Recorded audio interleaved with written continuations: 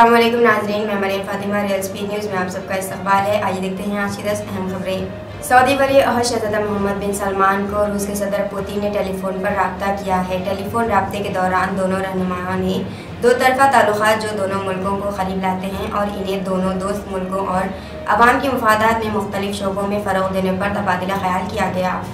खाबिज Israeli फ़ौज ने एक बार फिर मस्जिद अकसा में दाखिल होकर नमाजियों को तशद का निशाना बनाया, जिसके नतीजे में सत्रह नमाजी शदीद जख्मी हो गए। नमाजियों के एहतजाज करने पर इसराइली पुलिस के एहलकारों ने बुज़ुर्गों को तक तशद का निशाना बनाया।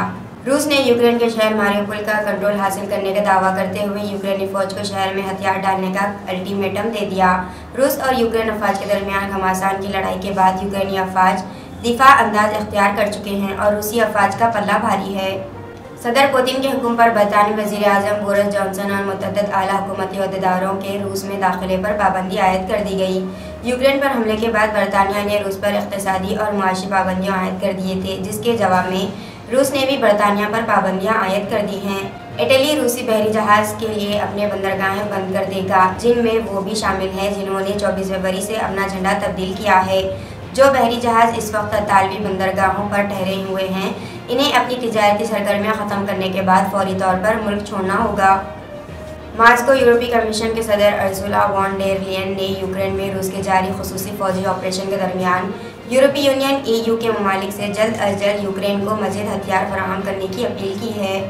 जिलो नामी बहरी जहाज़ मिसिल से माल्टा सैकड़ों टन ईंधन लेकर रवाना हुआ था। ट्यूनस के साहिल पर बहरी जहाज़ को इंतहाई ख़राब मौसम का सामना करना पड़ा। मिस्र से माल्टा 750 टन ईंधन ले जाने वाला बहरी जहाज़ ट्यूनस के जनूब मशरक साहिल पर डूब गया।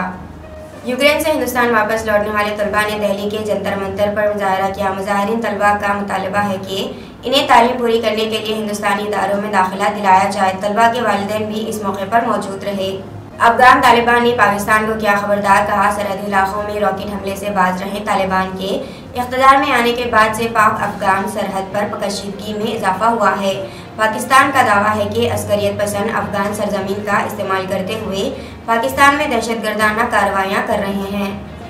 रियासत आसाम में गरज और चमक के साथ तूफानी बारिशों ने बड़े पैमाने पर तबाही मचा दी जिसके नतीजे में चौदह अफराद हलाक और मुतद जख्मी हो गए।